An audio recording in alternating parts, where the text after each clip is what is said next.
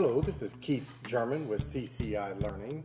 Uh, I'm coming to you today with a brief overview of one of our primary support issues that's often reported by a student and or a teacher of theirs.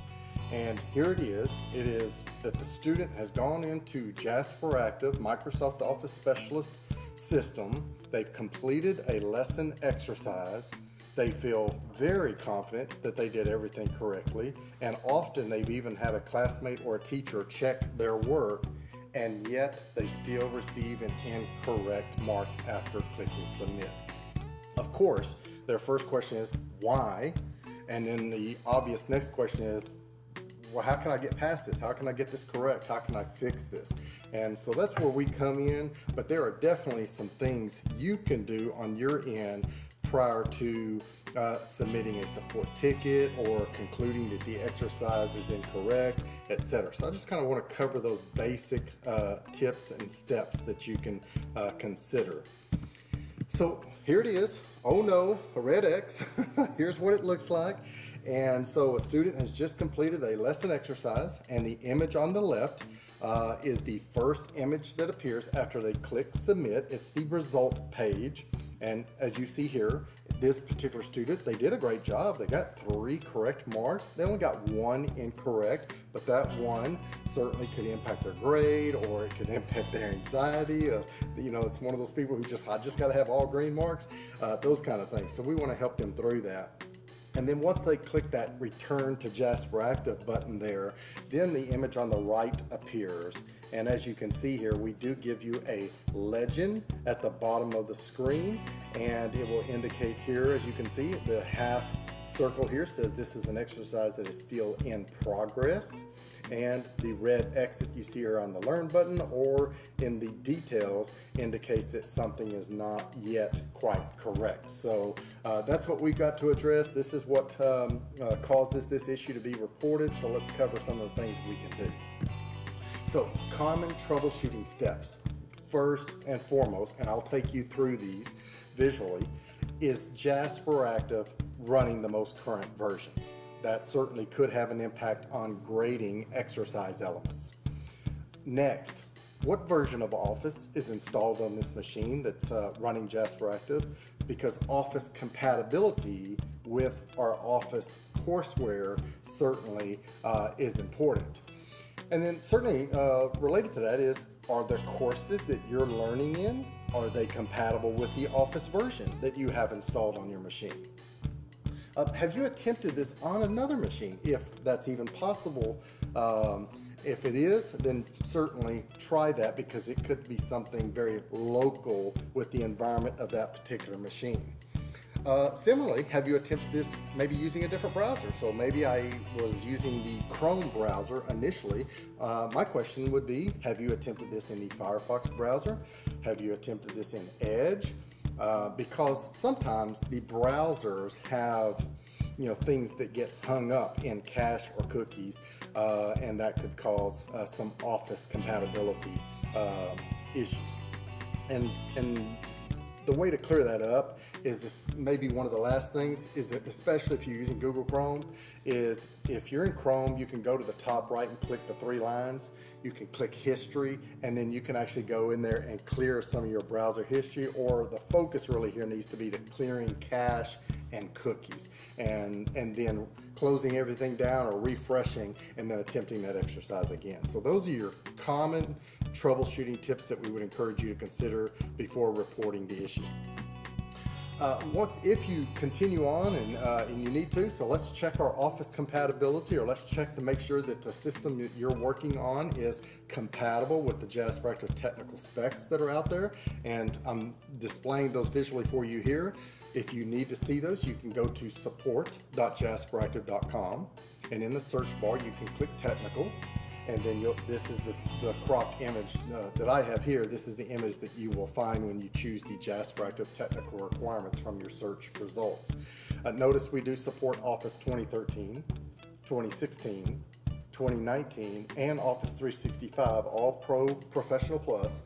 uh, it is also very critical, not just for JasperActive, but also for your GMetrix practice exams and for your Certiport Compass certification exams, that your the Office version on your machine has the semi-annual channel setting, not the monthly channel that is something most likely you'll want to work with your IT team with, whether it's at your workforce development agency or your, your school, wherever that may be. Uh, I hope it goes without saying there as it's highlighted that obviously JasperActive must be locally installed on your machine. Otherwise you wouldn't even be in an exercise running courseware and getting an error. Um, so once you've logged in as a student, then you get the main menu bar at the top. That one of the icons there is the J icon as we call it. It has one of three possible small indicators in the bottom right corner of the circle. And those are illustrated here, what each of those mean. Uh, now, clearly, if you have an X at your J, just stop there.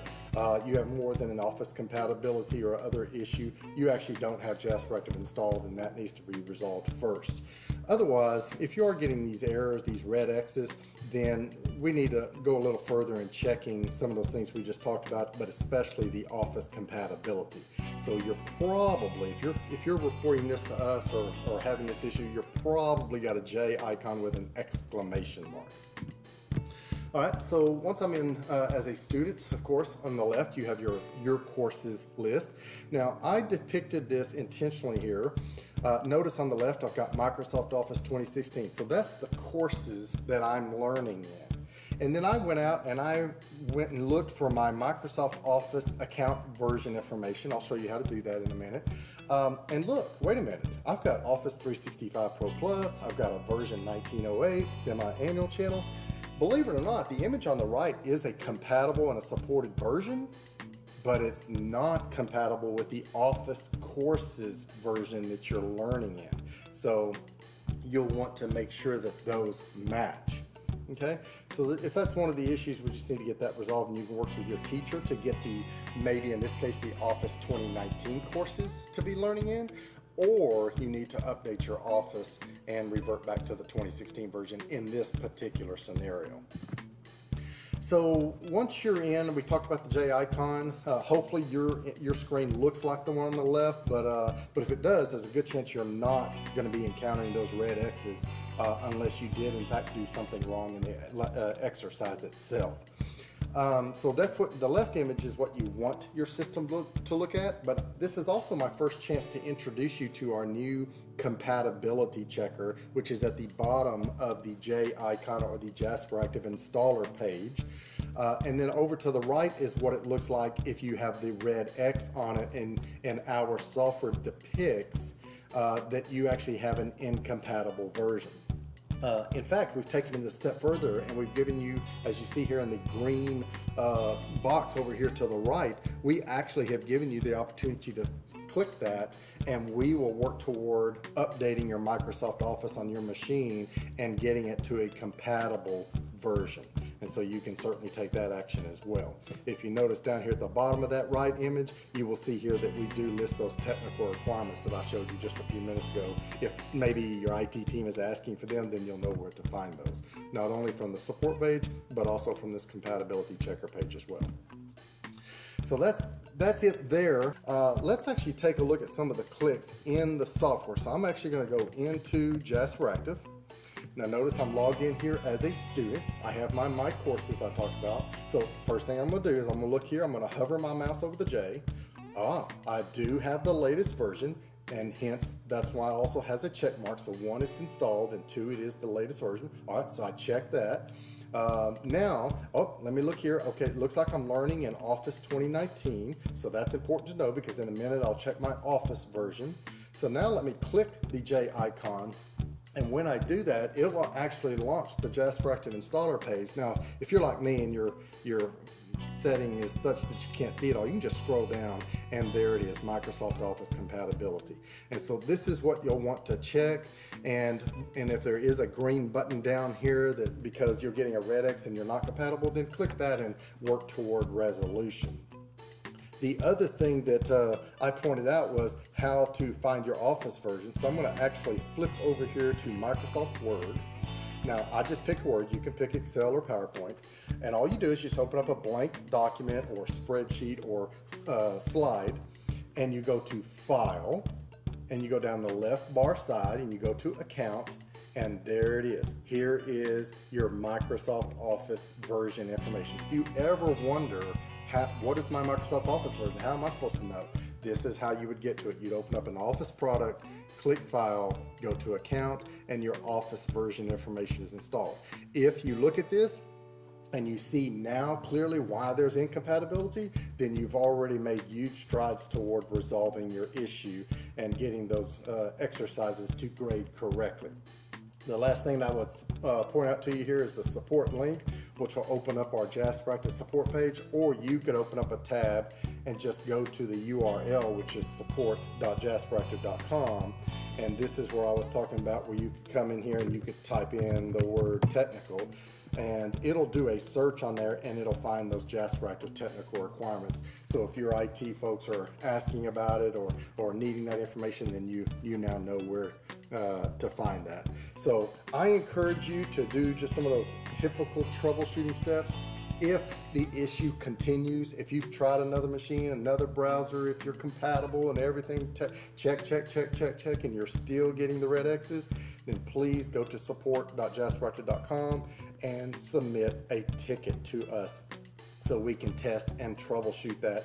If we are able to duplicate your issue and we do find that it's an issue in the courseware uh, itself, then we will submit um, a, a, trouble ticket to our product and development team. We'll set your ticket to pending status and notify you once that issue is resolved. If you're not able to use the website and submit a ticket, you can actually email us a ticket the same way. You can use the email address of help at jasperactive.com.